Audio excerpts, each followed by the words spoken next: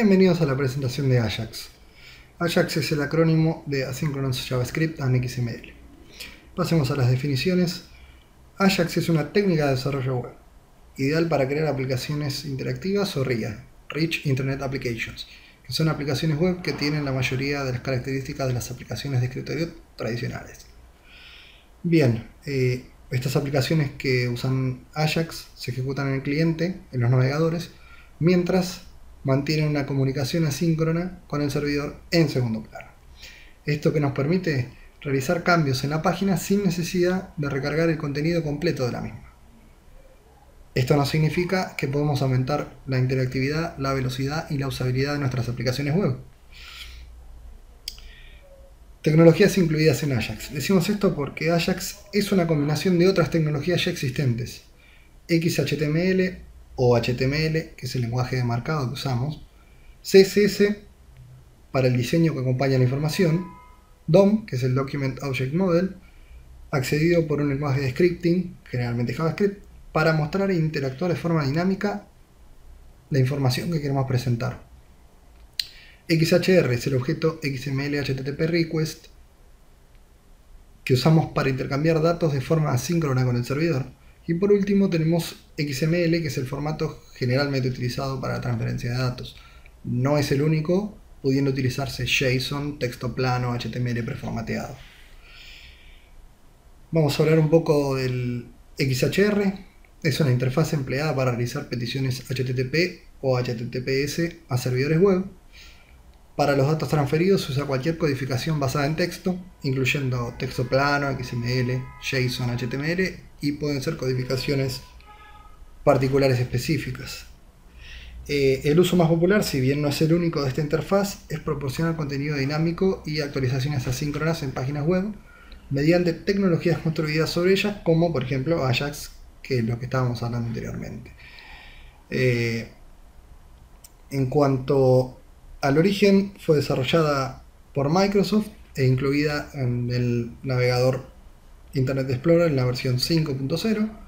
Eh, esta primera versión del objeto XHR se publicó utilizando el objeto ActiveX. Eh, en cuanto a la implementación de esta interfaz, eh, se implementa una clase de la que una aplicación cliente puede generar tantas instancias como necesite para manejar el diálogo con el servidor en cuanto a la evolución de la interfaz XHR, eh, en 2008 se publicó la primera versión de la especificación XHR Level 2, donde se pretende añadir eh, nuevas funciones como peticiones entre dominios o cross-site, eventos de progreso y manejo de flujo de bytes, o sea, los streams, tanto para envío como para recepción. Eh, bien, ahora vemos un pequeño diagrama donde vemos el modelo clásico de aplicaciones web eh, vemos que es sincronizado, eh, hay actividad en el usuario, se genera una request hacia el servidor, se procesa esa información en el servidor y se devuelve una response y recién continúa la ejecución en el cliente. Por otro lado, vemos el modelo de aplicación web utilizando Ajax, donde vemos la sincronía de esta interacción, ya que tenemos un engine de Ajax que se encarga de hacer las requests y recibir las response y renderizar esos datos de la response con funciones JavaScript. En cuanto a problemas y limitaciones de Ajax, podemos mencionar brevemente algunos. Eh, bien, el problema del historial del navegador es porque las páginas creadas dinámicamente mediante peticiones Ajax no se registran de forma automática en el historial del navegador. Entonces, si hacemos clic en el botón volver del navegador, el usuario no va a ser devuelto a un estado anterior de la página, sino que va a volver a la última página que visitó. Eh, soluciones para esto incluyen el uso de iframes invisibles para desencadenar cambios en el historial del navegador o el uso de eh, anclajes en la dirección. Otra limitación es que los motores de búsqueda no entienden JavaScript. Por ende, la información en la página dinámica no se almacena en los registros de los buscadores. Eh, tenemos también otros problemas usando Ajax con eh, problema de, entre nombres de dominios. Eh, a esto se lo conoce como Same Origin Policy o política del mismo origen, que en realidad es una medida de seguridad. Y para esto hay una solución que es el Cross Origin Resource Sharing o CORS. Eh, también podemos mencionar eh, la utilización de recursos en servidor porque un sitio hecho con Ajax utiliza más recursos en el servidor. La recomendación es solo usar las peticiones necesarias en Ajax y no desarrollar todo el sitio en Ajax. Y por último podemos mencionar que la compatibilidad de Ajax puede no funcionar en todos los teléfonos móviles u otros aparatos. Bien, vamos a ver un ejemplo de código. Vemos un pequeño bloque de código HTML donde en el cuerpo vemos un div con texto y un botón que en el evento click va a disparar una llamada la función JavaScript loadXMLDoc. En este slide vemos cómo esa función se instancia un objeto XML HTTP request, luego se le setea una función para el evento onReadyStateChange, donde si el status de la response es 200, se va a cambiar el texto del div por el que viene en la response. Luego hacemos uso del método open, pasándole como primer parámetro el método HTTP que queremos utilizar, en este caso get.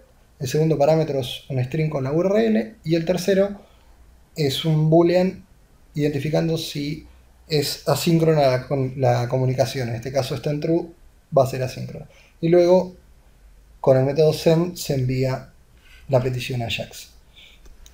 Por último vemos una tabla con el soporte de los navegadores donde los primeros son los actuales y tienen soporte para Ajax y el resto, que son los más antiguos, no lo tienen. Bueno, por último vamos a ver una pequeña web app que hice. Eh, está hecha utilizando el patrón MVC. bueno, eh, vamos a ponerla a correr para ver cómo es en sí la aplicación. Eh, consta de una lista de items. En este caso, como pueden ver, son guitarras, cuya cada item tiene una descripción, una pequeña imagen y un botón like para darle me gustas. Eh, bueno, como podemos ver, no tiene mucho código, es un bloque pequeño de HTML. el controller tenemos tres acciones, la acción index, que es la que se ejecuta por defecto, y retorna la vista con todas las listas de las guitarras. Luego tenemos la acción load image, que se va a ejecutar cuando hagamos la llamada Ajax, haciendo clic en la imagen pequeña y va a traer la imagen grande. Eh, con el, mientras tanto mostramos el, Ajax Loader. Eh, recibimos el ID en esta, en esta acción del, del item y para ver la sincronía eh, ponemos el thread a dormir con el sleep en un segundo. Por último vemos el último action que es el like, que también recibe el ID, en este caso es un string, y que lo que hace es eh, incrementar el, valor de la property likes en, el objeto item propiamente dicho. Hacemos clic y va aumentando los me gusta para cada objeto. Bueno, eh, es una aplicación sencilla, espero que les haya gustado Gracias.